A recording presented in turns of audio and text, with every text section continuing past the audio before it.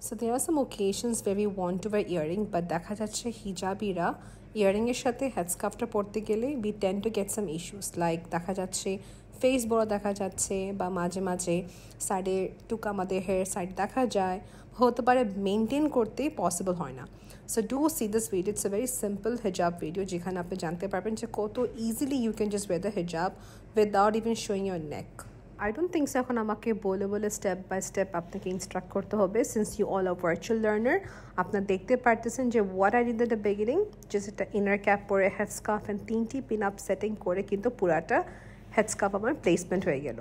So see further where I did আমি এখানে just হেজাবের ক্ষেত্রে প্লেসমেন্টের জন্য তিনটি সিকিউর জায়গাতে হেডস্কার্ফ পিন ইউজ করেছি।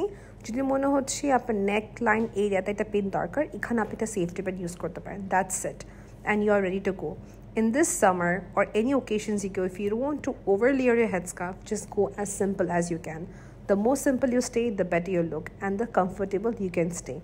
And yes, with this Punjabi look, the entire look with my jewelry just complemented a lot. If you like this video, please don't forget to share with your friends and family. Details close up description box. Till then, bye everyone.